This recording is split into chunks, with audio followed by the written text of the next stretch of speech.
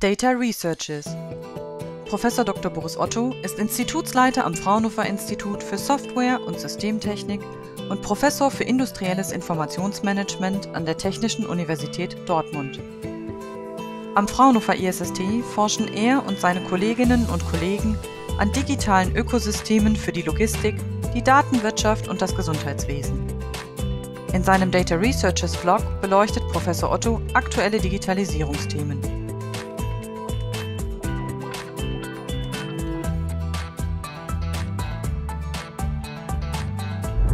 Herzlich willkommen im neuen Jahr. Wir haben das Jahr 2022 und das ist ein ganz entscheidendes, ähm, weil wir nämlich ähm, Datenräume jetzt implementieren, weil eine unglaubliche Dynamik entfacht wurde ähm, in Bezug auf das Data Sharing, das Datenteilen in Datenräumen. Und das möchte ich nochmal zum Anlass nehmen, ähm, ein wenig zu reflektieren, was eigentlich genau die Ergebnisse sind ähm, der IDS Association, der International Data Spaces Association. Denn ähm, die International Data Spaces Association hat sich zum Ziel gesetzt, einen Standard zu schaffen für Datensouveränität in Datenräumen ähm, und ist aber eine Non-for-Profit-Organisation. Nicht? Also ähm, das ist eben keine Organisation, die ein kommerzielles Produkt anbietet oder einen Software-Service anbietet, den man konsumieren und buchen kann. Und insofern ähm, begegnen uns auch häufig die Fragen, naja, was ist es denn eigentlich, was ich von der IDS Association bekommen kann? Und da möchte ich ganz gerne auf die drei wesentlichen Ergebnisbausteine, so möchte ich mal sagen, äh, eingehen, auf das äh, magische Dreieck, wie wir das auch manchmal nennen, dessen, was denn die EDS Association tatsächlich halt äh, für Unternehmen halt liefert. Und das ist zum einen ähm, die Specification, also die ähm, Beschreibung und Spezifikation der Softwarearchitektur, ähm, die nötig ist, um Datenräume halt äh, zum Fliegen zu bringen. Nicht? Und ähm, die Softwarearchitektur der International Data Spaces ist einerseits beschrieben in dem sogenannten Referenzarchitekturmodell, das sogenannte RAM. Das ist zurzeit in der Version 3 verfügbar und die Version 4 wird in diesem Jahr ähm, voraussichtlich zur Hannover Messe erscheinen. Und auf der anderen Seite sind es aber äh, Specifications, also technische Spezifikationen, wie die einzelnen Komponenten dieser Softwarearchitektur umgesetzt werden können. Und diese Spezifikationen sind auf dem IDSG, also auf einem Teil der Open Source äh, Repositories äh, der International Data Spaces Association auf GitHub verfügbar. Also Specifications sind auf IDSG.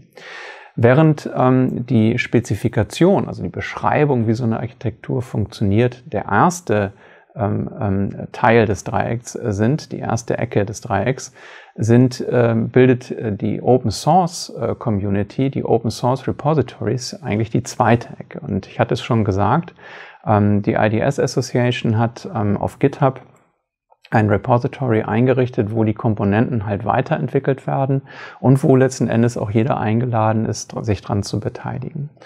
Darüber hinaus ähm, konzentriert sich halt die IDS Association tatsächlich auf die wesentlichen Dinge und ähm, ist deshalb sehr froh, dass auch andere Projekte, die außerhalb der IDS Association laufen, ähm, die IDS-Referenzarchitektur implementieren und damit einen Beitrag leisten zu IDS-konformen Datenräumen. Hier ist beispielsweise zu nennen das Eclipse Data Space äh, Connector ähm, äh, äh, Projekt, was vorangetrieben wird, ähm, auch unter Beteiligung von Fraunhofer ISST und anderen Fraunhofer Instituten, aber auch großen Partnern aus der Industrie, was eben dazu führt, dass wir unter Nutzung aller Vorteile der Eclipse Foundation ähm, effektiv und effizient in einem offenen Prozess ähm, die Connector-Komponente für Datenräume halt entwickeln können.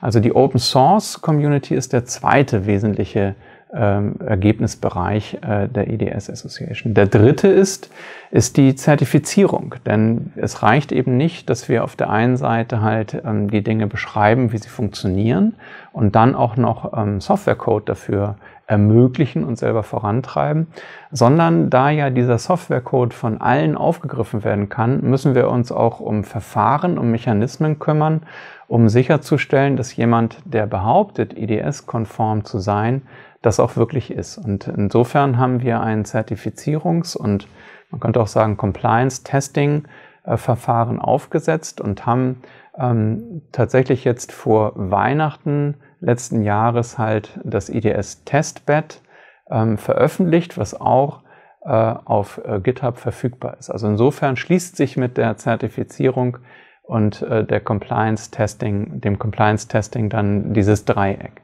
Das sind die wesentlichen Ergebnisse, die die, EDS Association liefert. Jetzt stellt sich natürlich die Frage, what is in for me? Wenn ich ein Anbieter bin, ein Serviceanbieter oder Technologieanbieter, kann ich eben einerseits mich beteiligen bei der Entwicklung der Open Source ähm, äh, Komponenten, aber auch letzten Endes halt äh, der Referenzarchitektur und eben halt auch am Zertifizierungsprozess und kann damit letzten Endes halt meine äh, Angebote, meine Software- und Serviceangebote anreichern um Datensouveränitätskomponenten und kann mich dadurch durchaus vom Wettbewerb differenzieren und kann eben halt äh, Kundenanforderungen gerecht werden. Ähm, darüber hinaus habe ich als Anbieter auch die Möglichkeit, meine Komponenten halt zu zertifizieren und damit tatsächlich einen Nachweis auch äh, zu haben, dass äh, meine Dienste, meine Softwarekomponenten den Anforderungen äh, der IDS-Spezifikation genügen.